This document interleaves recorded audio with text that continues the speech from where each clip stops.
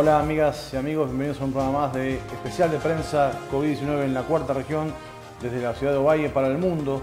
Son las 5 y 11, estamos totalmente en vivo del día 2 de abril, eh, un día, bueno, tengo que decirlo, siendo argentino, muy especial para nosotros los argentinos porque hoy se conmemoran 38 años del comienzo de la guerra de Malvinas. Ninguna guerra es buena, no hay héroes de guerra, somos todos víctimas así que nunca más a las guerras en, ningún, ninguna parte del mundo. Eh, tengo que decirlo porque hoy es un día especial para los que somos argentinos, así que bueno, eso es el recuerdo para que nunca más haya violencia, nunca más a las guerras en ninguna parte del mundo y que los pueblos sean libres de elegir eh, su autodeterminación, como quieran vivir y de dónde. Bien, hoy tenemos un programa súper especial, no se lo pierdan, con dos invitados de lujo.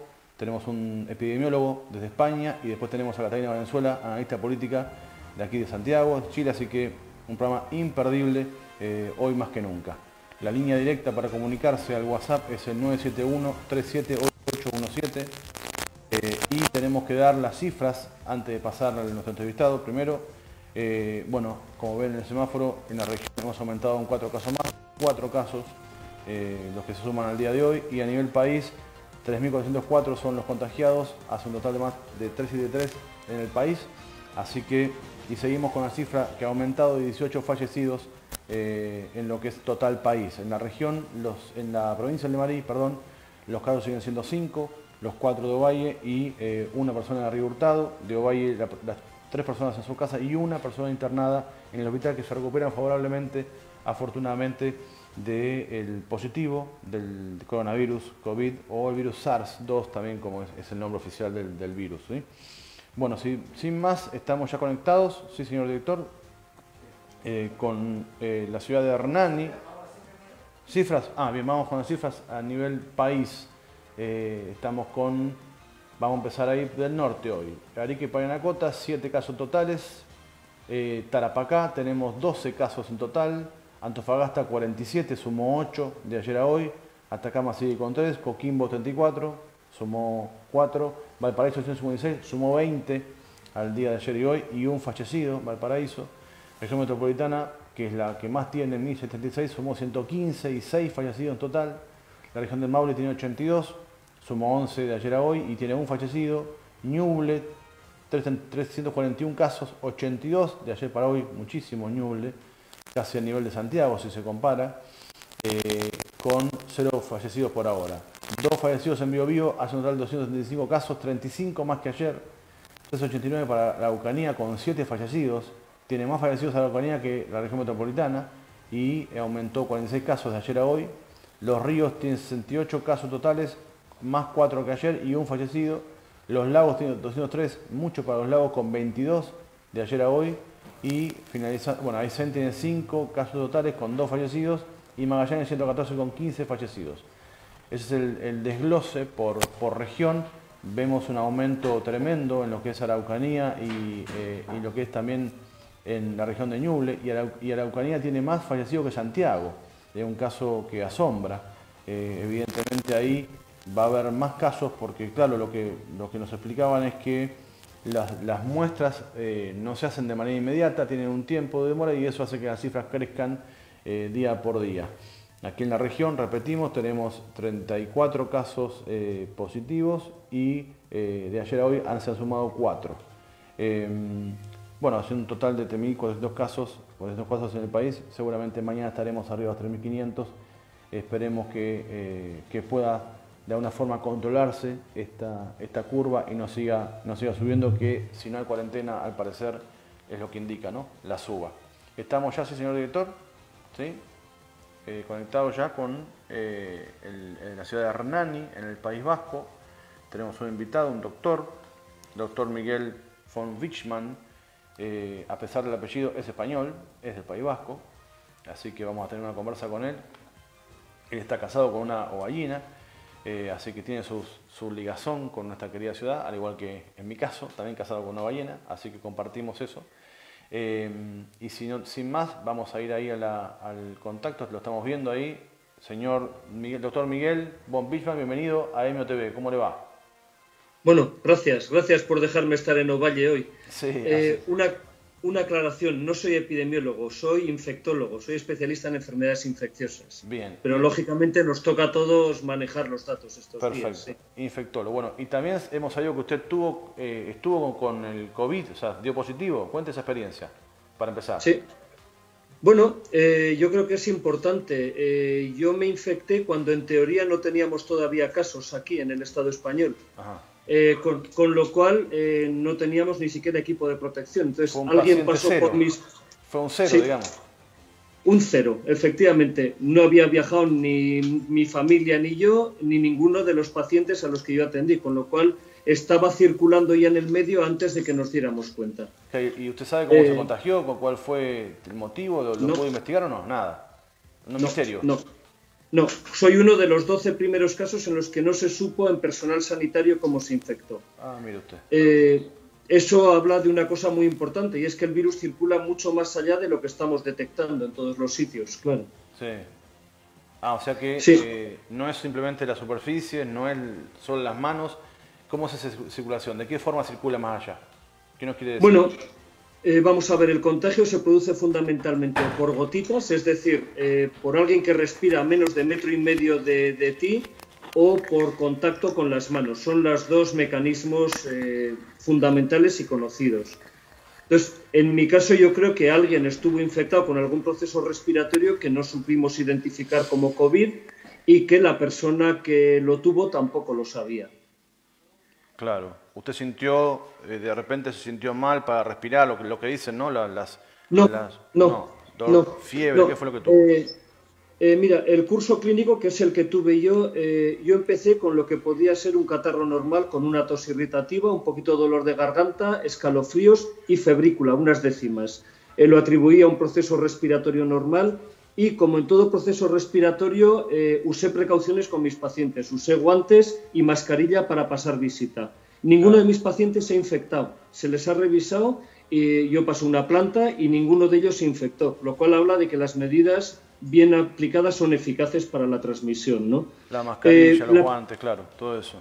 Eso es. La primera semana yo fui a trabajar con algo de paracetamol y me empecé a encontrar peor a los siete días, que es cuando uno se complica.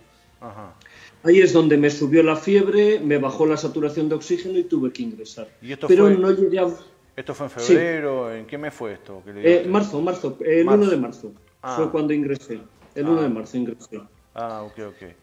Bueno, entonces desde su experiencia como infectado y como infectólogo, o sea, las dos, las dos, este, los, dos lados mostrador, podemos decir, ¿qué, puede, qué nos puede este, comentar? ¿Por qué esto en España se disparó tanto, en Italia, España, bueno, ahora vemos Estados Unidos también, Chile va y Brasil por ese rumbo. ¿Qué es lo que, qué, es lo que pasa con este maldito bicho que se, se les va de las manos a, mucha gente, no? Mm. ¿Qué nos puede bueno, yo, yo creo que en primer lugar que se transmite con mucha más facilidad de lo que nos habían dicho inicialmente. ¿eh? Porque todos decíamos, bueno, esto va a ser como la gripe, tiene una mortalidad baja, eh, y se transmite relativamente poco. Pero claro, para la, para la, gripe tenemos vacunas, tenemos gente inmunizada en años anteriores y para este virus que es nuevo no estamos inmunizados, no tenemos vacunas y se transmite con más rapidez de lo que pensábamos. Eh, ¿Qué es lo que ha pasado? Pues que ha entrado por muchas más ventanas de las que pensábamos que teníamos. Eh, en el caso del Estado español, eh, sí que ha pasado que mucha gente ha viajado a Italia. Con Italia hay mucha, mucha relación, tanto de turismo italiano como de españoles que van a Italia y eh, entró simultáneamente por muchos acontecimientos, incluidos acontecimientos deportivos. Por ejemplo, en Valencia hubo un encuentro de fútbol con un equipo italiano en el que se juntaron miles de aficionados de las dos aficiones y se infectaron tanto jugadores como público. Entonces, yo, yo, creo que ha circulado mucho más allá de lo que se podía trazar inicialmente. Sí. ¿Y eso en el estadio fue por aire? ¿Cómo, cómo se contagió la gente en el estadio? ¿Por qué se han, bueno, se ha, se ha cancelado todo lo que es el evento deportivo? ¿Por qué? ¿Puede estar menos de un metro? Porque hay una tribuna se, Por cercanía, por cercanía. Cuando ah. hablamos de transmisión, eh, eh, igual es importante distinguir qué es transmisión aérea y qué es transmisión por gotitas. Eso, sí. Eh, transmisión por gotitas es cuando hablamos, tosemos, estornudamos, producimos unas pequeñas gotitas que son mayores de 5 micras y que por peso caen como mucho a metro y medio, excepcionalmente a dos metros. Eh, esas gotitas son las que llevan las partículas infecciosas de este virus y son las que nos transmiten. Entonces, cuando hablamos con alguien a menos de metro y medio en un evento deportivo, es fácil que los de alrededor ante un virus contagioso se contagien. La transmisión aérea, eh, por ejemplo, la de la gripe es más transmisión aérea o la tuberculosis, eh, son gotitas mucho más pequeñas que quedan suspendidas en el aire por periodos prolongados de tiempo. Entonces, bastaría con compartir una habitación el tiempo suficiente. Esto es menos contagioso que la tuberculosis o que el sarampión. Claro. Ahora, hay una, hay una eh, polémica mundial. mitad de la biblioteca dice que sí a la mascarilla, mitad dice que no. ¿Cuál es su postura al respecto? Y si nos puede aclarar el tema, por favor. Bueno, las mascarillas claramente, eh, primero, tienen que ser mascarillas estandarizadas, que no dejen pasar estas gotitas de, más de 5 micras. Si hacemos una con un pañuelo de la casa, no nos va a proteger, va a pasar, es una falsa protección, una falsa seguridad. Mm. Eh, sí que ha demostrado su eficacia cuando estamos muy cerca de alguien infectado, a menos de metro y medio, caso de personal sanitario, caso de cualquier asistencia, bomberos, eh, no sé, cualquier, cualquier situación en la que está uno cerca de un paciente infectado. Eh, ese personal tiene que estar protegido con mascarilla. La persona infectada también, porque con la mascarilla disminuye la posibilidad de expandirlo en el ambiente. Si compartimos un espacio con alguien infectado a menos de metro y medio, también protegería. En la calle eh, yo creo que no está claro que proteja, si mm. estamos a una distancia mayor de metro y medio. Y además hay otro problema, no hay disponibilidad mundial de mascarillas para toda la población. Claro. Porque todo el mundo está, está buscando el mismo recurso. Entonces, en el fondo es un falso debate porque va a haber que dedicarlo a las situaciones de mayor riesgo. Claro, y usted, pues bueno, lo, veo, lo vemos bien de salud, usted está, eh, disculpe la incidencia, dentro del grupo de riesgo, por así decirlo Usted se recuperó, hizo la cuarentena, se recuperó bien. ¿Cómo fue el periodo de, transición hacia quedar, digamos, completamente, si me equivoco, corríjame, libre del virus? ¿O cómo está su situación actual ahora? Sí, eh, bueno, eh, a mí me hicieron, cuando ingresé era positivo para el virus. Eh, estuve ingresado 14 días en aislamiento en una habitación con aislamiento de gotitas. Mm. En aquel momento había poca gente ingresada y pude estar solo se me pusieron varios tratamientos de los que se están ahora estudiando su eficacia y el día 14 salí a casa. Pero eh, ante un cuadro relativamente intenso, eh, lo que he hecho es otros 14 días de aislamiento en casa. Eh, yo sí que llevaba mascarilla y guantes y las superficies que yo tocaba las desinfectábamos con lejía diluida, una parte de lejía y nueve de agua, porque con eso se destruye el virus. Y, mi familia estaba protegida. Eso iba a decir. En su casa usted convive con su esposa, no sé si tiene hijos, ahí convive con un usted. Hijo. Con un hijo convivimos y no se han infectado ellos. Ah, bien. ¿Y eh, usted sabe si usted puede de vuelta tener, contagiarse del virus o ya queda inmune? ¿Qué se sabe de eso? Bueno, eh, hay pocos datos en ese mm. sentido, pero en principio sí que se sabe que la gente que se ha recuperado es inmune. De hecho, se están haciendo estudios ahora con suero de la gente que ya se ha recuperado del virus y que pueda proteger a gente enferma. Mm. Eh, con lo cual sí que sabemos que generamos anticuerpos que nos protegen durante un periodo no conocido, al menos de varios meses. Es decir, para la epidemia actual vamos a estar protegidos. Si este virus vuelve el año que viene, nadie lo sabe. Nadie lo sabe. Yo cuento con no reinfectarme en este periodo, de hecho voy a volver a trabajar a una planta con pacientes con, infección, eh, pero no sé qué puede pasar el año que viene si circula. Me imagino los grupos de WhatsApp de ustedes, los infectólogos, eh, deben estar como locos eh, o mismo en conferencias o viendo cómo explican la aparición de este virus. O sea, realmente es este, realmente es un virus contagiado desde un animal, el SARS, el SARS-2, tengo entendido que es el nombre del virus propiamente dicho, o algunos hablan de un laboratorio. ¿Qué es lo que usted, en estas reuniones que ha tenido, sabemos conferencias que ha estado con gente también de China, nos comentaban, qué es lo que se dice ahí en el mundo médico? Eh, ¿Se miran todos sin saber qué hacer o hay algún camino eh, que se pueda trazar de este virus y cómo se lo puede combatir más allá de las medidas de seguridad, no? Sí, no, no. Eh, hay datos del, origen del virus. Eh, primero, tiene una gran analogía con el virus del SARS tipo 1, el que, tuvimos en el 2003-2004. Eh, que aquel se identificó en los murciélagos, en la zona de China donde empezó el contagio. Mm. Hace tres años, porque el virus actual se ha secuenciado, hay secuencias completas del virus, tanto en China como en otros países, en Europa y en Estados Unidos al menos. ¿Qué quiere decir eso de la secuencia? Explíquelo un poquito más para lo que no entendemos tanto. ¿Qué es la secuencia que se pudo secuenciar? ¿Qué quiere decir eso? La secuencia quiere decir que conocemos todo el abecedario genético del virus, conocemos todo el código genético del virus. Mm.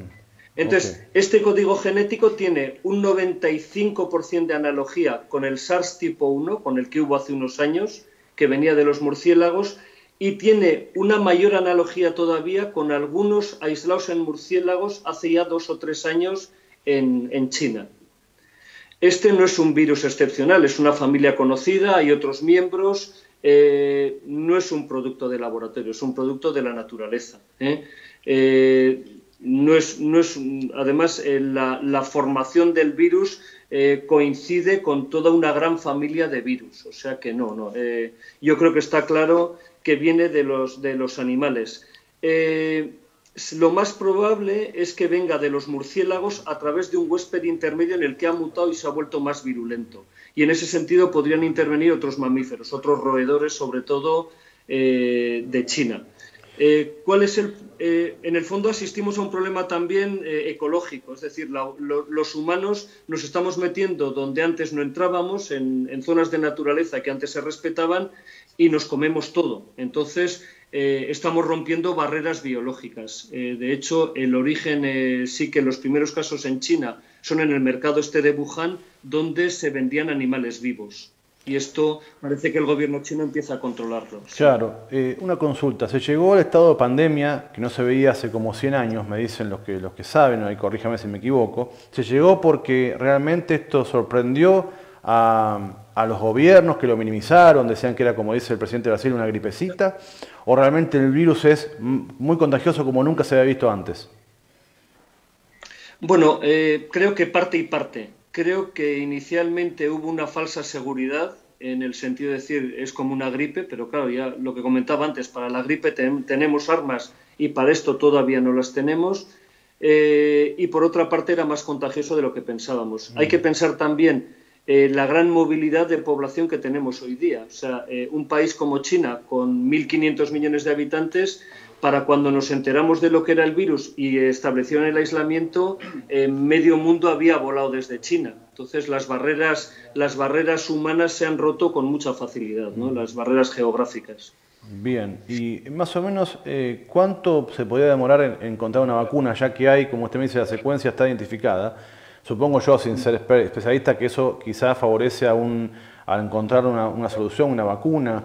Eh, ¿Más o menos eh, se tiene algún, algún parámetro de eso o todavía no?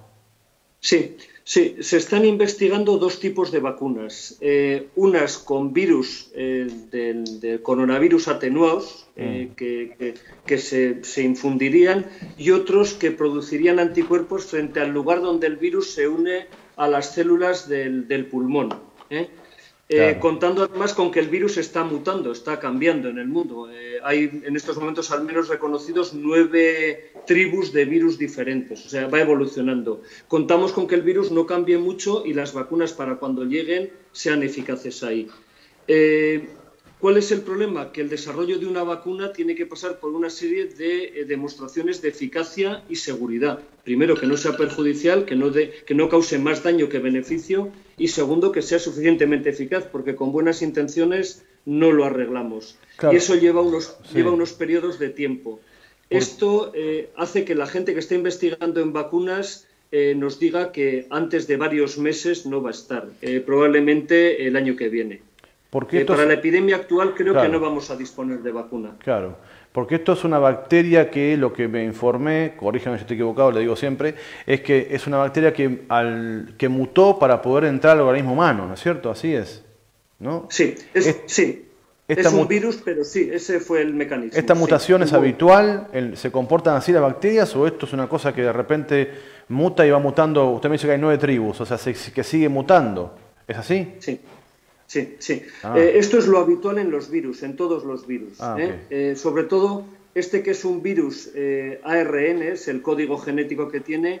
Los virus ARN hacen una mala multiplicación de sí mismo, con lo cual cada día producen un montón de variedades distintas. Unas tienen éxito y se transmiten, otras no tienen éxito y muere el virus, pero les hace adaptarse con mucha, mucha velocidad. Bien, y la tasa de mortalidad es baja, dicen por ahí. ¿Usted eso lo puede, me lo puede reafirmar o me lo puede, digamos, este, negar? Eh, volvemos a relativizar. Eh, vamos a ver los datos sobre los casos identificados, que son siempre una pequeña parte de los casos reales. Eh, si miramos la epidemia china, los chinos tuvieron 82.000 casos, que prácticamente han cerrado la epidemia, y más de 3.000 casos de muertos, con lo cual la mortalidad en China no fue el 0,9 inicial, sino el 4% mm. sobre los identificados. En el caso de España y Francia, que son en estos momentos los países con probablemente con mayor mortalidad, en Italia ha llegado a cerca del 10% de los casos identificados y en España hoy era del 9%.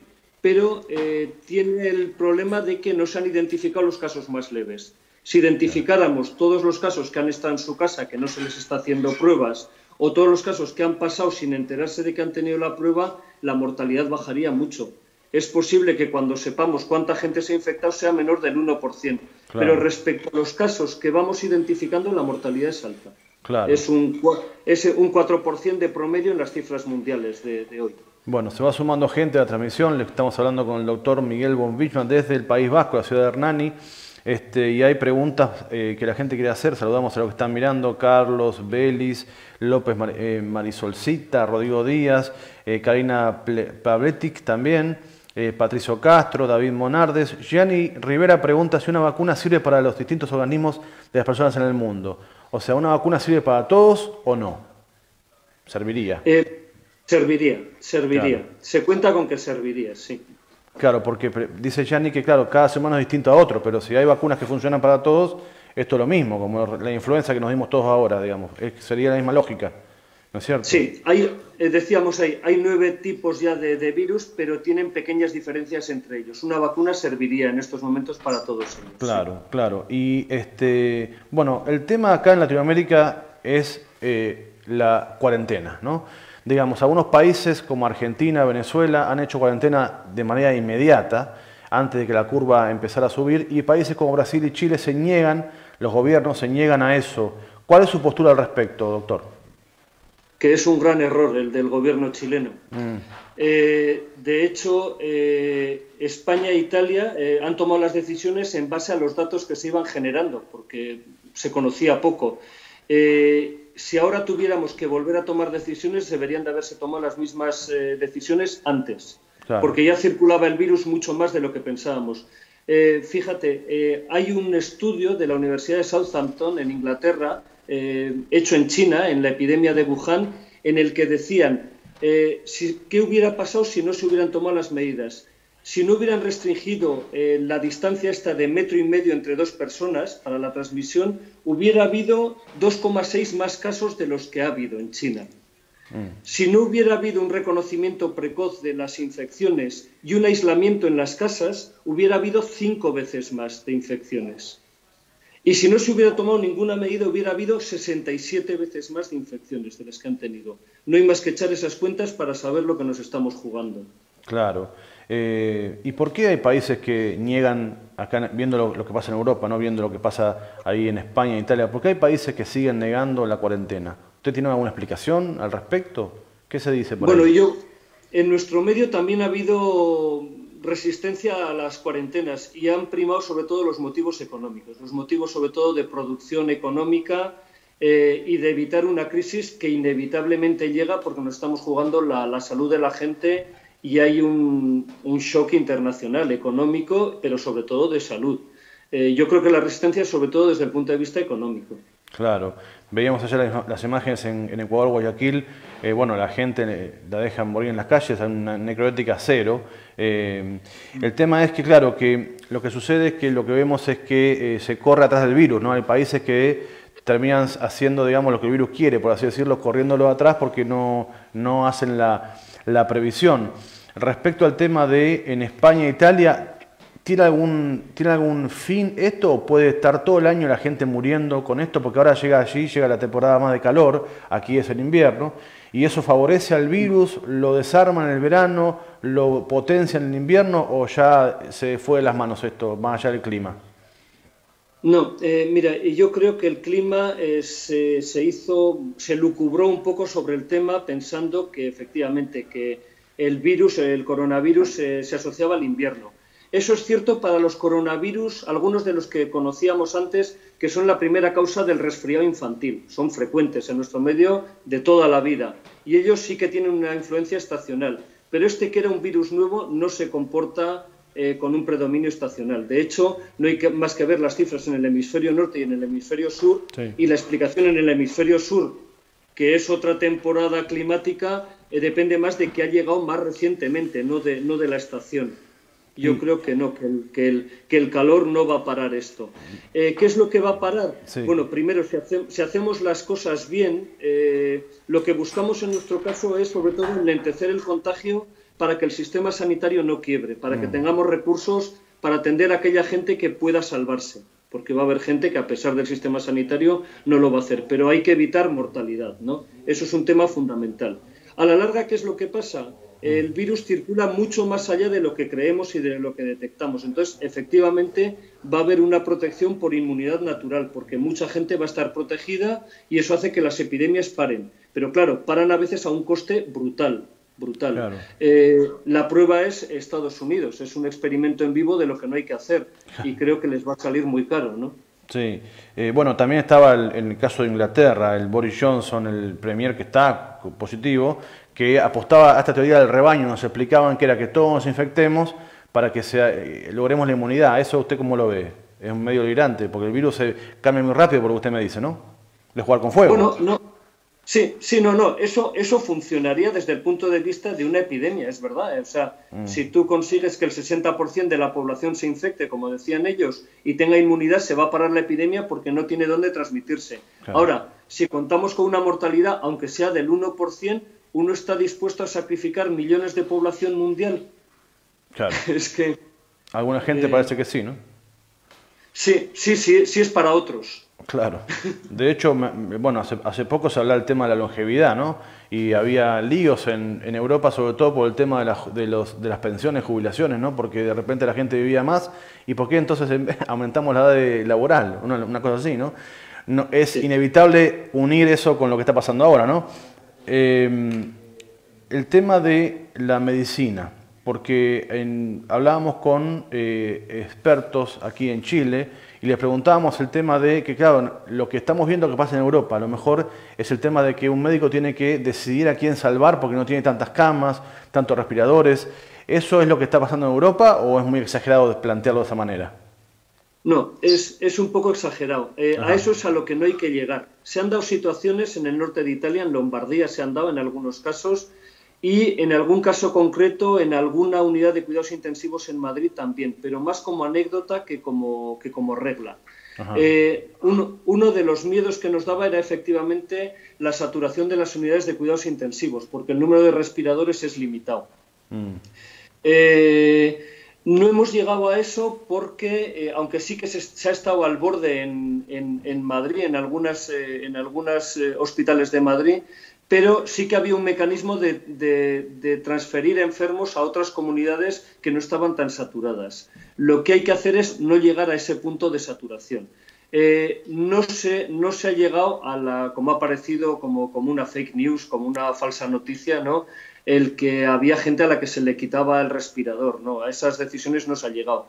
Sí que es verdad que eh, si llegamos a una situación de falta de respiradores, eh, hay protocolos de medicina de catástrofes en la que tú eh, ofreces los medios a la persona que tiene más años de vida por delante, es decir, antes a una persona joven que a alguien que tiene un cáncer terminal. Pero, pero no se ha llegado a esa situación en Europa. Nos preguntan eh, aquí, Patricio Castro, nuestro televidente, si es posible contagiarse el virus con estas gotitas o gotículas, como también le llaman, en los tenedores, cucharas, cuchillos. Él está pensando si va a un restaurante, por ejemplo. Como acá todavía algunos, algunos lugares están abiertos, no han cerrado en sociedad, entonces este, pregunta si es posible que se contagie de esa manera.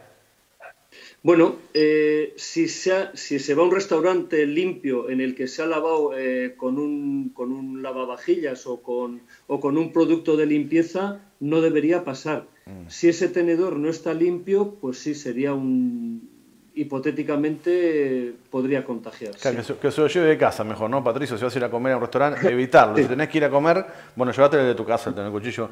El Gianni, Rivera está con la duda que tenemos todos. O sea, ¿a quién hacemos caso? ¿A la OMS que dice que no protegen contra coronavirus las mascarillas? ¿O a los chinos que nos dicen que sí sirven? ¿Por qué no hay un consenso en el tema a nivel global? ¿Por qué esa discusión de los mascarillas sí, mascarillas no? ¿A qué se debe, doctor? Bueno, eh, primero a lo que hablábamos, a la disponibilidad real de mascarillas para la población mundial, que no, no lo tenemos. Mm. Eh, segundo, a situaciones de riesgo. Eh, si uno está a más de metro y medio de, una, de otra persona que puede tener o puede no tener el coronavirus, la mascarilla sobra, no nos hace falta. ¿Cuándo tendríamos una necesidad o una utilidad? Si algo que si bloqueamos los movimientos, que es algo que aquí en el Estado español ya hemos hecho, la gente no sale de casa más que para los trabajos imprescindibles, con lo cual no hay transporte público. Pero si nos subimos a un autobús con 30 personas, pues ahí la mascarilla tendría una utilidad, porque efectivamente estamos en una situación de riesgo potencial, ¿no? Claro, bueno, hemos visto hoy, por ejemplo, en ciudades como Río de Janeiro, la locomoción llena de gente lotada, como dicen en portugués, yendo al trabajo, porque algunas líneas paran, otras no, ¿no? Eh, me decía el director, ¿me habla? Aquí también, en, la Plaza de Armas de aquí esta ciudad, llena de personas, como si fuese una jornada normal. Tremendo eso. Y las filas que hemos visto en este país para sacar diferentes trámites este, legales que no respetan la distancia, la gente. Le voy a, eh, Miguel, para ya ir cerrando, le voy a hacer una pregunta. Hágame el escenario más, el, peor escenario que usted, que usted cree que podía pasar y el mejor. A ver con cuál nos quedamos. Bueno, el mejor es que la propia epidemia se, limite y tengamos los medios y no se, no se, no se sature el sistema sanitario.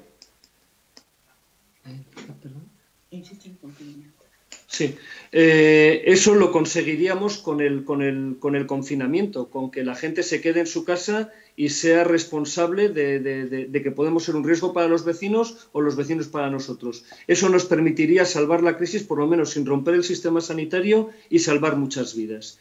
Eh, el peor escenario es que esto se ha diseminado a nivel mundial eh, no tenemos eh, materiales eh, para, protegernos, ni siquiera los sanitarios, porque el mercado mundial no produce a la velocidad que, está produciendo esto. En países con sistemas sanitarios inexistentes, como puede ser buena parte de África o algunas zonas de, Latinoamérica o de Asia, pues, pues va a costar muchas vidas o puede costar muchas vidas que se podrían salvar de otra forma.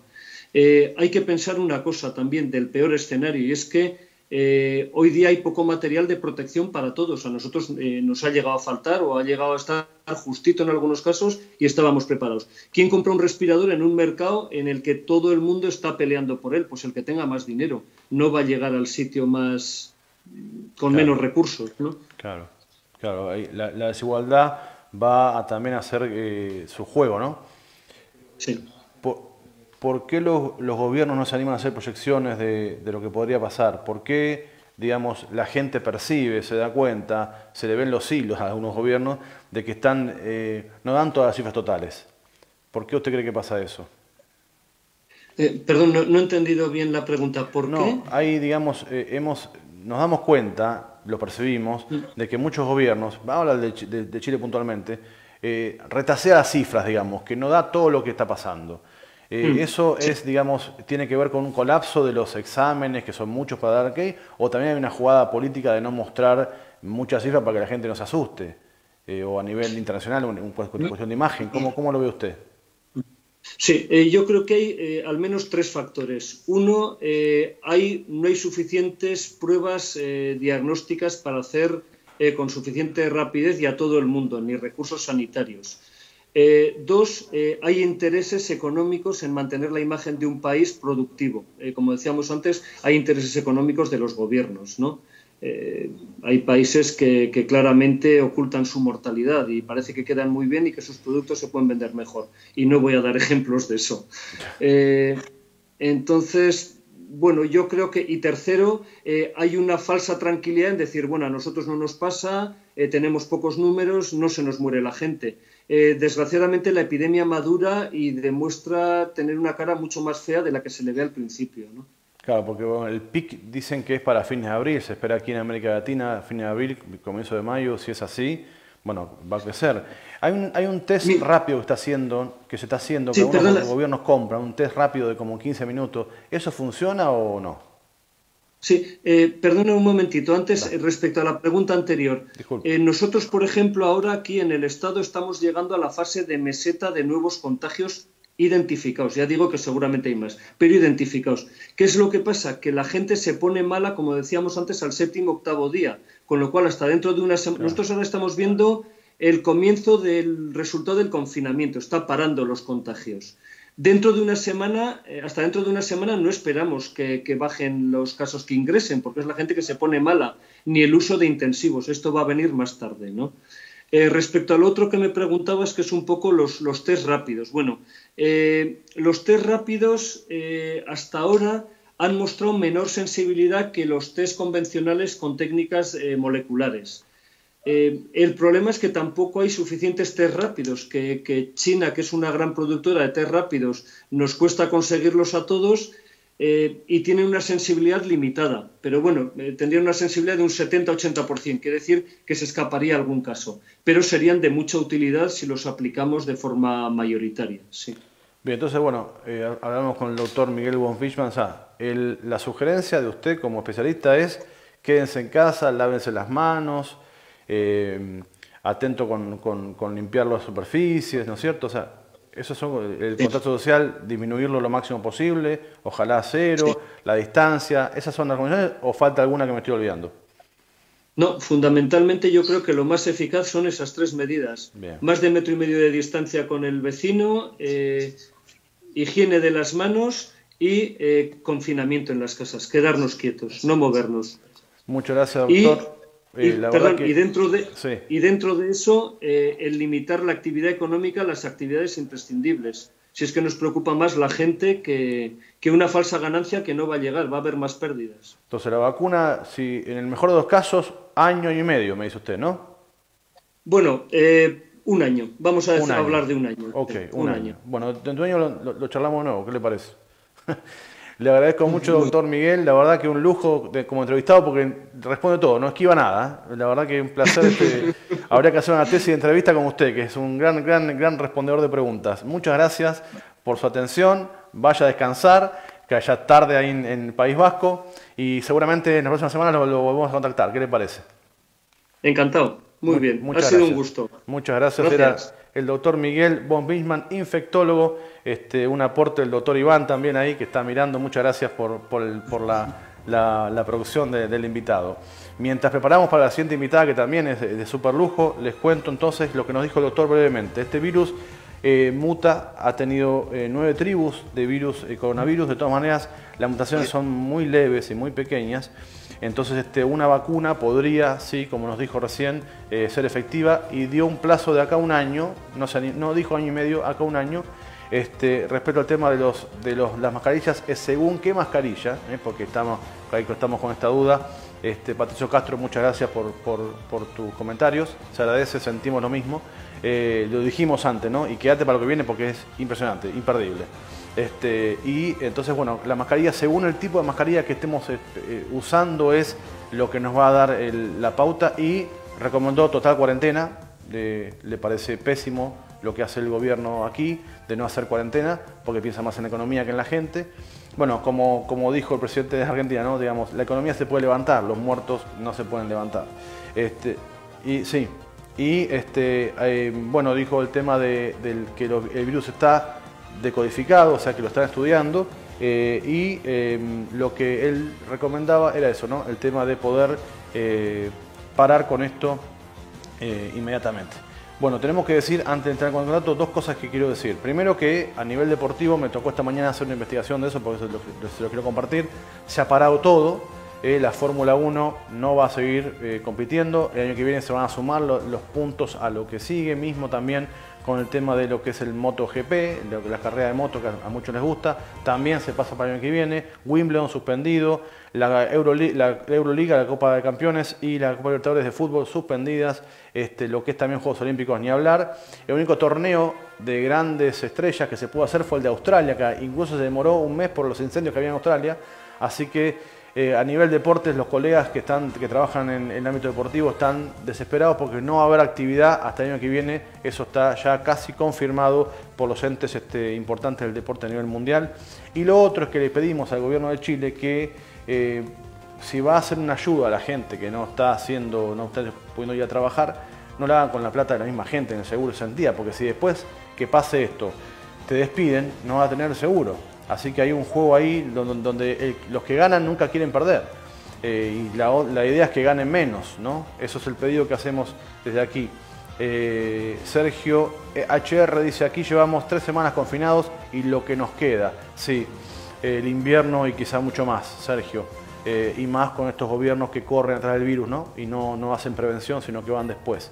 ¿Estamos listos con, con la invitada, señor director? ¿Sí? ¿O falta un poquito? Bien. Vamos charlando. Eh, si quieren comunicarse con nosotros directamente, dejar un mensaje de audio o escribir, aparte de los comentarios en, el texto, también tenemos nuestro WhatsApp, que es el 569-7137-8817. Y antes de dar paso a la siguiente invitada, quiero invitarlos, contarles esta red de apoyo humano, que es un proyecto que están haciendo gente que quiere ayudar a los que no pueden salir de la cuarentena. El teléfono es 968-65-4017. Si quieres ayudar en lo que tiene que ver con colaborar con la gente, en llevarles alimentos, eh, aseos, artículos de aseo, eh, medicamentos, ropa. Eh, aquí estamos, aquí están los, la gente de Red de Apoyo Humano para apoyar. Y también si estás solo, estás con tu hija, tu hijo no, no quiere salir, pues no puedes dejarlo solo, estás postrado, la Red de Apoyo Humano está trabajando para colaborar con eso. Ahí te comunicas a 96865 417 y vas a poder este, tener, dar una mano y ayudar, que es muy importante, porque quedarse en casa a veces alguna gente puede, otra gente no, y también hay gente que necesita la ayuda. Hay mucha gente que puede hacerlo porque dispone de auto, moto o bici, y entonces este, podría hacerlo. Bueno, pasamos de un entrevistado magistral a otra entrevistada magistral también, que es Catalina Valenzuela, ella es analista política, también es presidenta del Partido Humanista y además también es feminista. Así que vamos a hablar un poquito de todo lo que pasa en Chile aquí con, con ella. Eh, Catalina, bienvenida a MOTV, ¿me escuchás bien? Hola, Buen día, buenas tardes, Nico. Sí, estoy tratando de, que se vea bien. Me puse en un lugar iluminado porque el resto de la casa es muy oscura. Bien, se ve perfecto, Catalina. Bueno, eh, ¿qué está pasando con este, con este virus que nos tiene a todos en cuarentena, en este caso de Chile voluntaria? Vos estás en, estás en Ñuñoa, ¿no es cierto, si no me equivoco? Así es, es una de las... Hoy día van a ser seis comunas en cuarentena. Ahí tienen eh, cuarentena obligatoria en Ñuñoa, ¿no es cierto? Sí. Sí, ¿Y cómo es ahí? ¿Pueden salir al mercado de a uno? ¿Cómo, cómo, cómo funciona ahí la cuarentena en, aquel barrio de Santiago? Hasta hoy, a las 22 horas, teníamos el formato primario, que era que la gente tomaba peticiones por internet a una comisaría virtual, que me dicen que está colgada desde la mañana.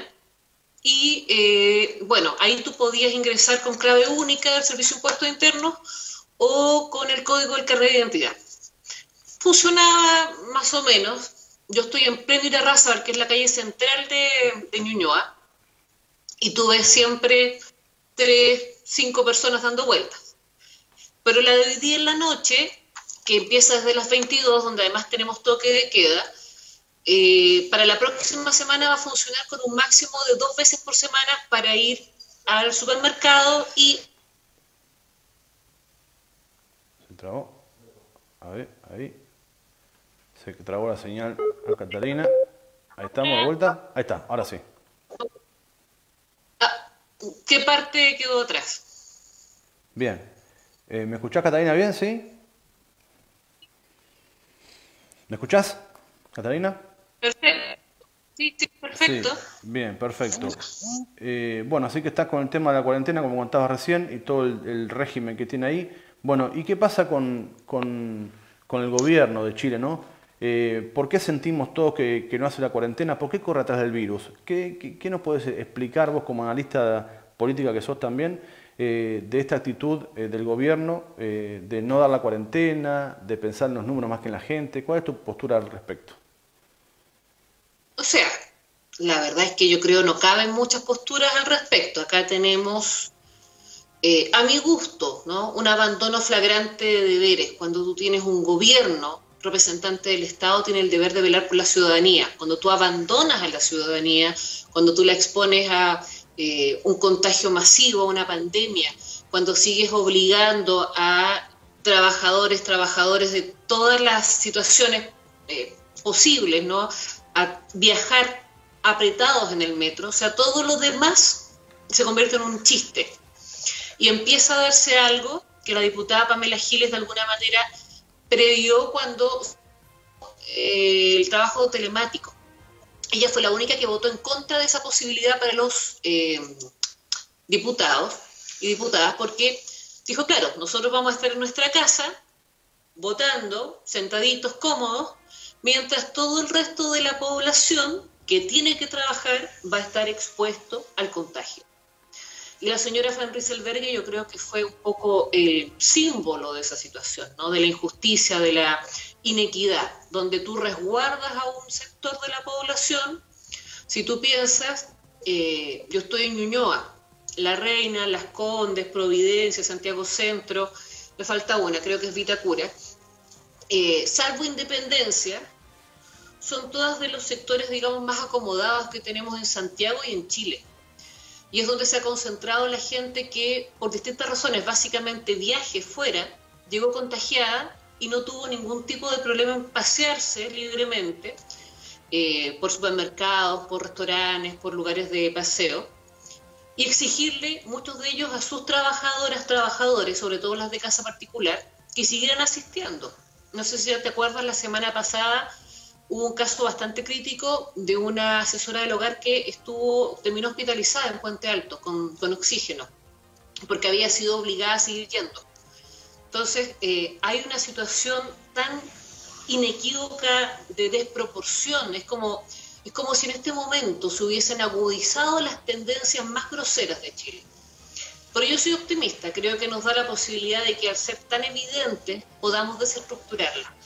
Porque de alguna manera pasa lo que el otro día oía una mujer decir en un noticiario que daba pena porque tenía toda la razón. Decía esta cuestión parece un exterminio. Pareciera que el señor Piñera quisiera que nos muriéramos todos los trabajadores.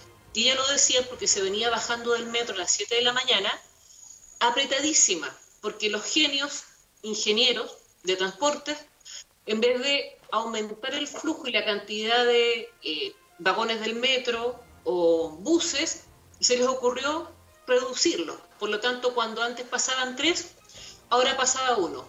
Y como la gente tiene que ir igual a trabajar, los que iban repartidos en tres vagones, ahora van todos en uno. Así que uno se puede imaginar la proliferación del contagio. Claro, bueno, acá, en la ciudad de Valle te cuento que la Plaza de Armas parece un día normal al, mediodía. Eh, la gente no ha tomado el peso a esto. Eh, mucha gente no, le da importancia, no piensa que es, como dice Bolsonaro, una gripecita. Eh, otro personaje, Bolsonaro, ¿no? También. En Ñuñoa, ¿cómo es el tema? ¿La gente le ha tomado el peso, se queda en la casa o también salen, este, hacen lo que quieren? ¿Cómo, ¿Cómo está la conducta ahí en la capital? Mira, yo diría que dentro de todo, Ñuñoa es una micropoblación, con un microclima, donde efectivamente hay bastante conciencia, de hecho, más allá de lo que uno pudiese mirar desde un sesgo social, es la comuna que siempre ha estado participando de todo lo que fue eh, el octubre. Nuestro propio octubre rojo, con muchas manifestaciones, entonces tenemos una, una población bastante consciente, que el día del joven combatiente salió a poner velas en sus ventanas. Entonces, en este caso también han entendido que el no contagiarse no tiene que ver con uno, sino que tiene que ver con el entorno, ¿cierto? Yo podría tal vez sustentar o aguantar el bicho en mi cuerpo, pero nadie me asegura que yo, por casualidad, transmita eso a un tercero y ese tercero termine hospitalizado, a punto de morir o finalmente falleciendo. Catalina, voy a, voy a buscar tu lado feminista porque está pasando mucho que el encierro lo hablamos hace dos días con una, abogada eh, feminista también, el encierro está generando mucha violencia. Porque claro, la gente se queda encerrada, empiezan a, no soportarse y aquellas mujeres que sufren la violencia, digamos, también son víctimas, pues no pueden ni siquiera salir de la casa ahora y no hay tampoco en Chile, hemos visto, no hay líneas de teléfono para poder comunicarse. Hay una que nos dijeron otra vez, pero que hemos probado para llamar y da colapsada. Entonces, este, como feminista, ¿cómo se, interpreta el tema este de, la, cuarentena, más que del, virus, la, cuarentena o esta cosa de no salir por temor, eh, desde el punto de vista de la mujer? Mira, eh, la línea a la que tú te refieres es la 1455 y efectivamente hay que ser afortunada para encontrarla libre. Sí. Entonces está claro que no está dando respuesta, ¿no? Eh, sin, ánimo de atacar la propuesta, que parece bien, en todos los países más o menos en vías de desarrollo existe un número. Ahora no sé si está en estas condiciones donde cada vez que tú llamas nadie te, te responde.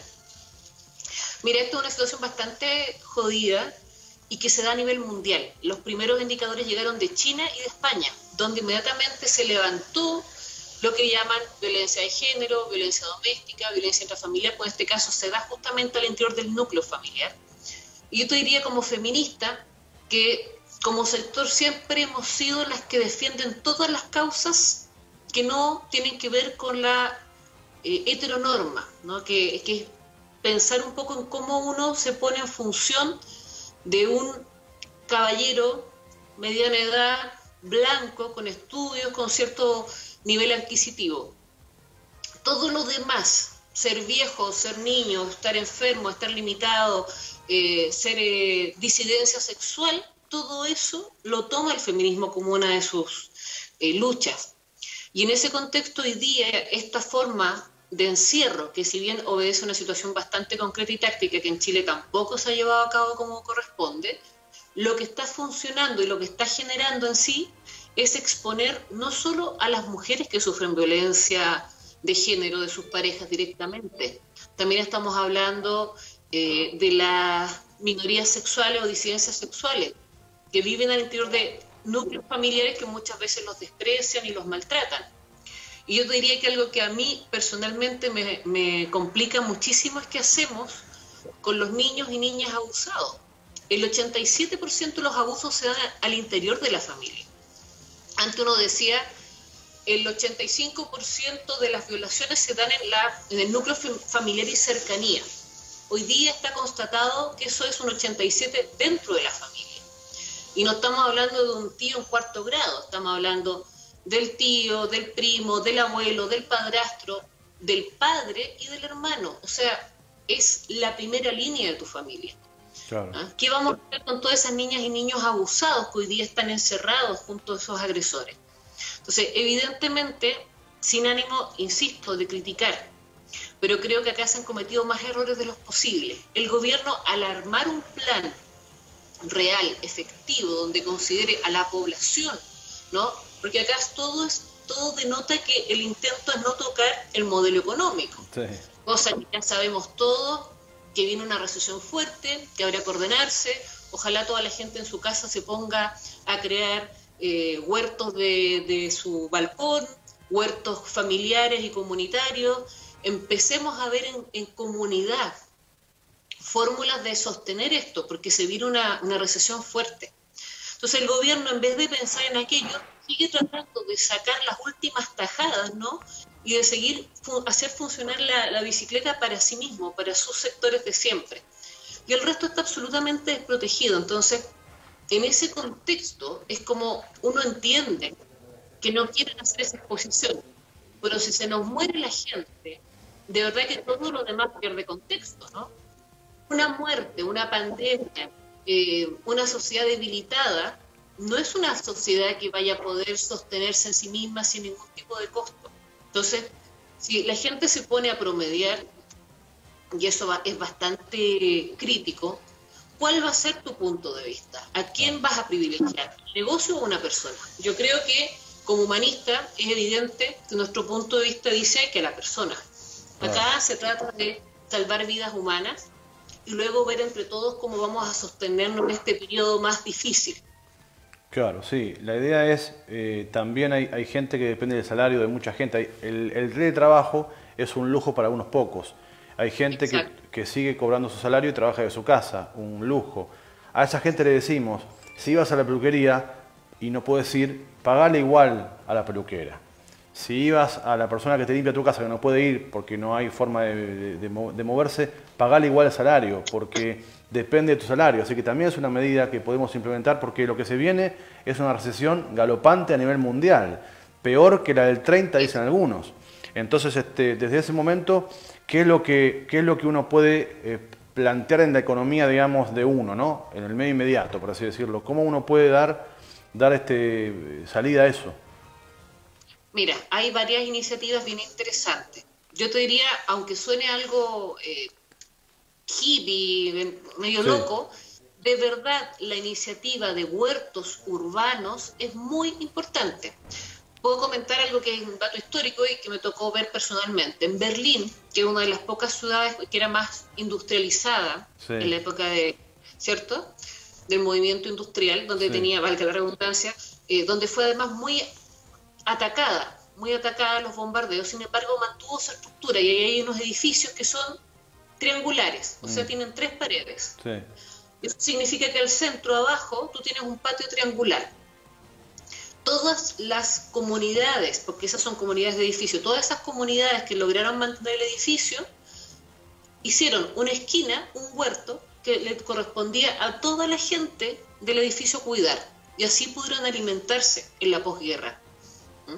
Entonces yo siento que de verdad hay muchas iniciativas que hoy día la gente las mira como algo súper alternativo, eh, New Age, ¿no? Pero sin embargo es la posibilidad real de poder tener alimento. Nosotros no solamente vamos a tener una crisis económica, tenemos una crisis ecológica mundial. Mm. Y en Chile el agua es un tema que hace años está dando vueltas, se nos va a acabar el agua, entonces sin agua, sin alimentos, sin plata, ¿qué vamos a hacer? Yo sé que suena caótico, pero ok, todavía no pasa. Tenemos un antes. Ese antes es ahora. Ese ahora, donde tenemos que cuidarnos de no contagiarnos y contagiar a otros, porque de pronto tuve gente que dice, bueno, yo soy súper sano, a mí no me va a pasar nada. Bueno, pero tú puedes ser vehículo para que alguien esté en peligro de muerte. Mm. Hoy día nos cuidamos, nos resguardamos, nos guardamos en la casa. Aprovechemos este momento para pensar cómo vamos a salir hacia afuera. ¿Cierto? este, este futuro negro no va a ser tan negro, no va a ser tan complejo, o al menos vamos a ver dónde está la puerta de salida si hoy día nos sentamos a trabajar. La gente está llena de grupos de WhatsApp, está llena de cables, está llena de cosas, ¿no? De, conexiones. Incluso eh, los que tienen menos conexión se están colgando y se conectan una vez al día. O sea, uno hace esfuerzo. Yo diría hoy día tenemos la posibilidad como, como sociedad, como humanidad, de ver todas estas fallas reales, existentes, que nos están poniendo en peligro de muerte o nos están matando y organizarnos de otra forma. Bien, claro, porque por, eso, por, eso, decimos, lo vengo diciendo yo hace, hace varios programas y quiero que ampliemos el concepto de que este es un momento humanista. Así es. Eh, ¿Cómo podemos explicar eso a la gente que está mirando, que no sabe lo que estamos hablando eh, en estos tiempos de, de, pandemia, que es un momento humanista? ¿Por qué sería un momento humanista este? Mira, eh, nosotros como seres humanos, como especie, tenemos algunas cosas que nos definen, ¿no? Y una de esas es la capacidad de cambio, la capacidad de asociar nuestra intención a la modificación de nuestro entorno.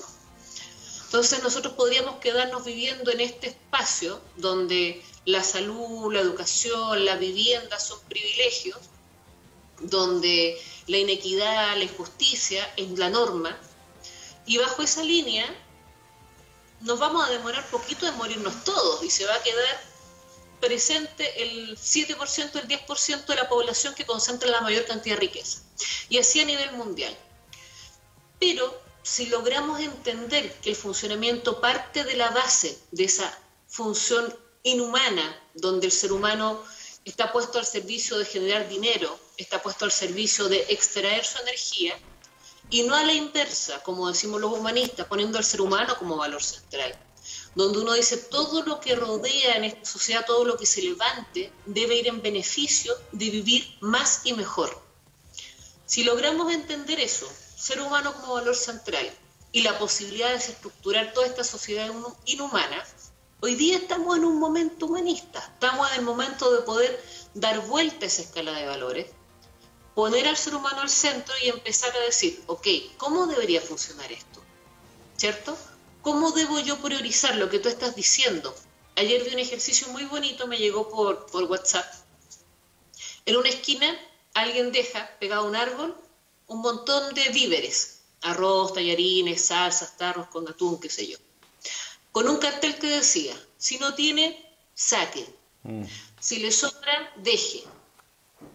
Cuando tú empiezas a ver eso, tú dices, acá hay un germen. Mm. Cuando tú piensas en el momento del desborde social, y te encuentras en las marchas con esa primera línea de hombres y mujeres que están poniendo literalmente el cuerpo para que otros puedan manifestarse. Y manifestarse es salir con carteles, es hacer música, es saltar. ¿no? Y esta gente está dispuesta a decir, no voy a permitir que los baleen, que los ataquen, ¿cierto? Tú ves en los momentos de oscuridad es donde pueden aparecer los actos más luminosos del ser humano. Hoy día hay gente que está regalando eh, cursos, talleres, poesía, libros, películas por redes. Hay gente que se está encargando de cantar en, los balcones y en las ventanas para alegrar a sus vecinos. Hay gente como este cartel que tú pones acá que se está poniendo a disposición de ir a hacer compras, de ir a la farmacia, de ir a cuidar abuelos, niños, porque los padres están obligados a trabajar empiezan a aparecer gestos que uno antes habría pensado que eran impensables. Entonces ahí está ese, virus, ese germen, pero del humano, que podemos hoy día agarrar y hacer crecer. Si todos nos organizamos, ¿qué va a pasar? ¿Ah? Si todos aprendemos a vivir sin ir al mall, si todos aprendemos a vivir justo con lo que compramos para el mes, para la semana, ¿Ah? si todos aprendemos a redistribuir esa, esa ganancia, ¿cierto? Y yo entiendo que hay otro que no le está yendo tan bien y yo lo apoyo para que le vaya bien. Si empezamos a cambiar esta mirada, ¿qué va a pasar? ¿Mm?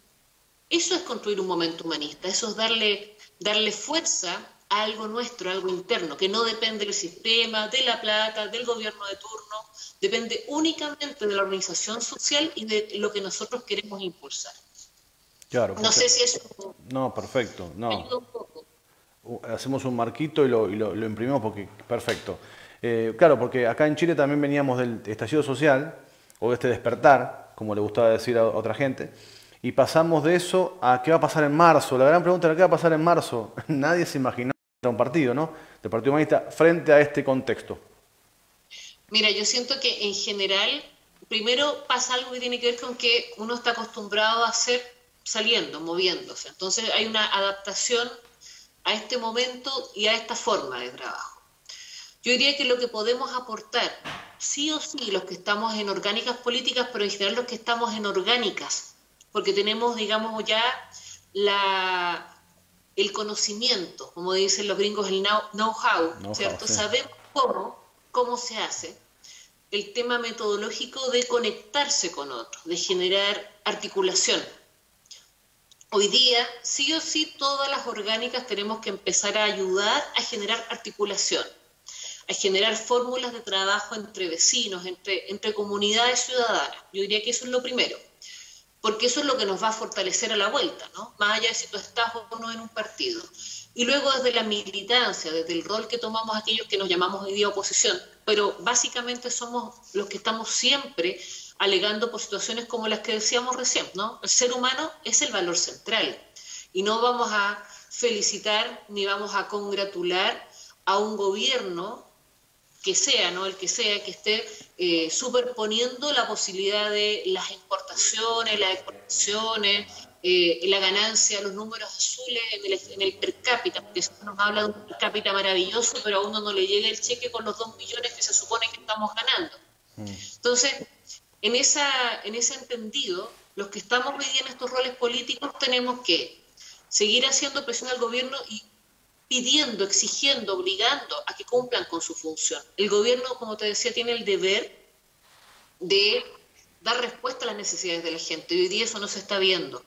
Tenemos un ministro de salud expulsado del colegio médico por faltas a la ética. O sea, eso yo te juro que uno lo dice, yo creo que no te creen a Claro. ¿Ah? es una, es una burla, una, una, persona que en su ministerio anterior eliminó la lista de espera de las personas que se iban a operar.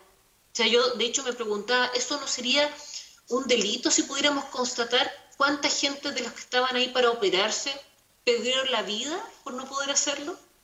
porque se borró, ¿no? Se borró, se desapareció esa lista. Entonces, como políticos tenemos el deber de denunciar, de levantar, de proponer. Personalmente estamos trabajando con amigos, abogados, abogadas y economistas tratando de generar alguna propuesta, más allá de si llega o no llega a buen puerto, que sería el gobierno, sino que, que esta también circule entre la ciudadanía y la vea una propuesta económica sustentable y sostenible, porque tampoco es que eh, manejemos una mirada naif al respecto y digamos ya todo el mundo en, en cuarentena y no hacemos nada. Evidentemente esto tiene un marco de regulación donde tú sabes que hay ciertos sectores entonces que van a tener que hacer otras labores. Entonces, ¿cómo nos organizamos? ¿Cómo los resguardo? Porque hoy día no se le está haciendo un chequeo permanente a todo el personal médico en salud, a todo el personal de aseo, la gente que recoge la basura, que limpia, ¿Cómo no estamos haciendo un chequeo permanente a todos los que están en transporte? Permanente y al día en los otros países se demoran dos horas en tener listo el test. Nuestra, nuestra periodista del partido, desde el día de ayer que se hizo en la mañana el test, está esperando el resultado porque tenía mucha sintomatología. Mm. La mandaron para la casa y le dijeron que se mantuviera en cuarentena. ¿Tú sabes que le han dicho que va a estar el resultado entre tres a seis días más? O sea, en el intertanto se podría morir podría contagiar a cualquiera y no tienen idea porque no le van a dar el resultado. Entonces, ese tipo de cosas son las acciones que nosotros podemos hacer, poner el foco, poner eh, la, la cámara encima, pero además ir generando propuestas, porque no solamente uno se puede quedar en la queja, sino que también en la acción concreta. Y además, bueno, estamos tratando de ver cómo generamos una red de apoyo, porque efectivamente esto que ustedes hacen acá, nos gustaría poder levantarlo de Arica a Punta Claro tener eh, abogadas y abogados pudiendo dar respuesta a lo que pasa con los regímenes de visita, justamente con lo que partimos hablando en algún momento, tema de la violencia, ¿cierto? Los chicos del Sename, pienso en los chicos del Sename. ¿Sabes qué me dicen, Catalina? el director me dice que si podés dejar las manos quietas. Porque la gente mira tus manos en vez de... Nada, nada. Pero es un, pequeño un tema de luz nomás, no, no, está todo bien. Bueno, no sabía lo, no sabía lo de Angélica, le, mandamos un beso enorme a nuestra querida Angélica, la periodista.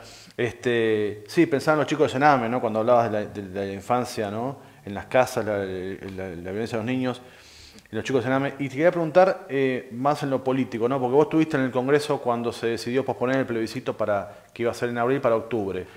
Eh, ¿Se podrá hacer? Porque por lo que vemos esto va, para largo. ¿Y a quién benefició esa, esa medida de, correr el plebiscito? ¿Cómo, ¿Cómo lo sentís de tu punto de vista? Mira, en general uno poniéndose suspicaz podría decir, sí, esto podría beneficiar al sector del rechazo. Pero sabemos que es un sector pequeño, un sector muy ideológicamente instaurado, ¿no? Es como que no van a oír ningún tipo de propuesta, no van a oír el, contrapunto. Es un rechazo por definición, porque les toca esa constitución que es casi una Biblia. Eh, pero descontando ese punto que podría ser, la verdad es que uno puede transformar un problema en una oportunidad.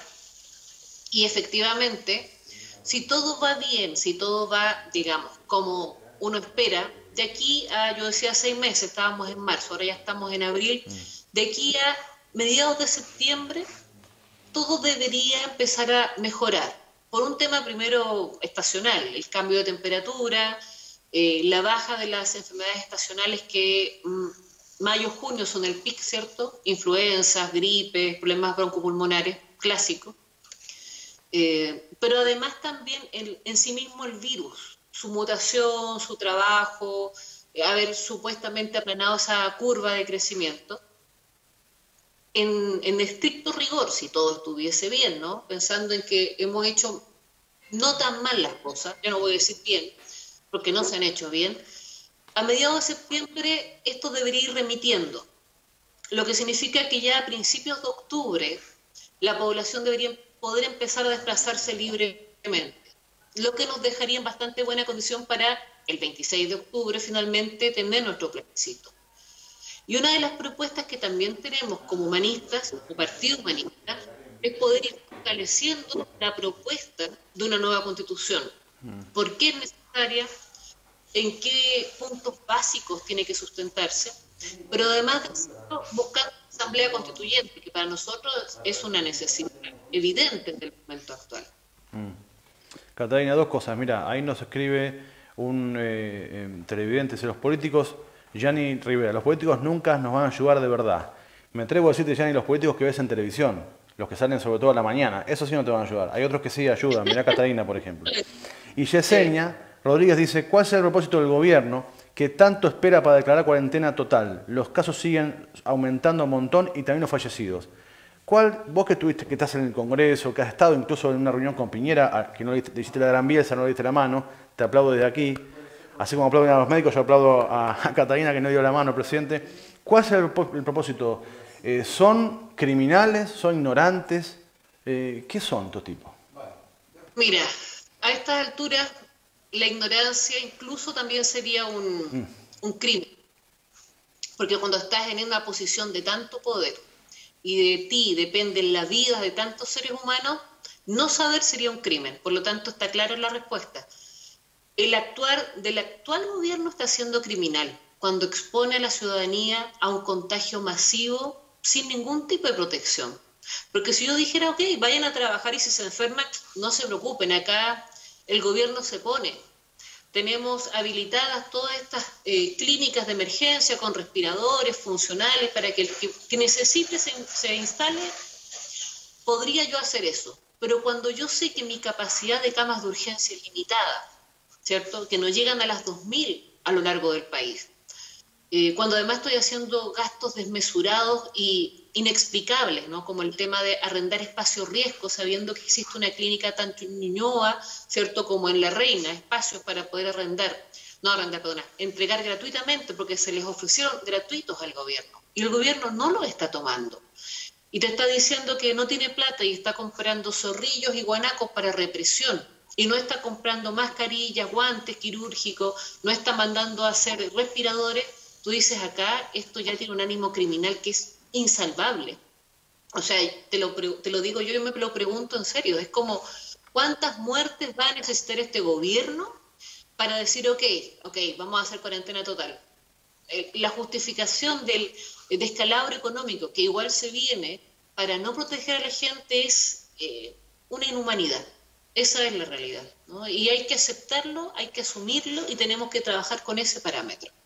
Claro, este virus expuso lo que sos antes. Si seas un soberbio, un egoísta, con esto quedaste clarísimo. Y si seas un tipo solidario, preocupado por los otros, también queda clarísimo qué rol juega cada uno. Yo te agradezco, Catalina, este espacio que nos diste. Un placer, un lujo. Eh, la verdad que te veo futuro en la política. ¿eh? Me parece que te va, a ir bien. ¿eh? te mando. Gracias. Te, te mando. Creo que ahora que tengamos futuro es una buena cosa. Claro, tal cual. Te mando un beso enorme, muchas gracias por, por este contacto. También para ustedes. Dale. Saludos. No, perdón por las manos, ¿eh? yo las muevo mucho ah, siempre. todo bien, todo bien, no hay problema. Era Catalina.